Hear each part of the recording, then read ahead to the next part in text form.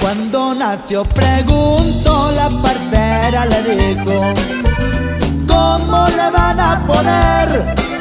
Por apellido